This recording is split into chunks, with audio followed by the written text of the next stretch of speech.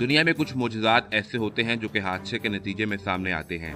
کچھ ایسا ہی واقعہ بھارتی انتہا پسند بلبیر سنگھ کے ساتھ پیش آیا تھا جو کہ ہتھوڑا لے کر بابری مسجد کو شہید کرنے نکلا تھا، مگر قدرت نے اس کے لیے ایسا فیصلہ کر رکھا تھا جو کسی کے وہم و گمان میں بھی نہیں تھا۔ چھ دسمبر انیس سو بانوے بھارتی تاریخ کا وہ سیاہ دن تھا جب اسلام دشمنوں نے بابری مسجد پر دھاوا بول دیا تھا۔ اس حملے میں حیرت انگیز طور پر مقامی پولیس نے برابر شرکت کی۔ آج تک اس واقعے میں ملوث کسی ملزم کو سزا نہیں ملی۔ آج مودی حکومت ستائیس سال بعد پھر تاریخ کو دہرانا چاہتی ہے اور بابری مسجد کو منہدم کرنا چاہتی ہے۔ لیکن یہ کیسے پتا تھا کہ ہتھوڑا لے کر آنے والا بلبیر سنگھ اللہ کے موجزے کا زندہ ثبوت بن جائے گا۔ بلبیر سنگھ نے اپنے ایک انٹرویو میں بتایا کہ جب اس نے ہتھوڑا مسجد کے گنبد پر مارا تو اسے لگ رہا تھا کہ جیسے وہ ہتھوڑا اپنے دل پر مار رہا ہے۔ اس بات کا علم جب اس کے والد کو ہوا تو اسے گھر سے نکال دیا گیا اور بلبیر سنگھ گھر سے نکلنے کے بعد یارو مددگار بھٹکتا رہا، مگر اسے کہیں سکون نہ ملا۔ اور آخرکار اس کی ملاقات ایک عالم دین سے ہوئی، جسے اس نے اپنی کہانی سنائی اور حال پوچھا۔ بلبیر سنگھ نے عالم دین کو بتایا کہ بابری مسجد کو منہدم کرنے والوں میں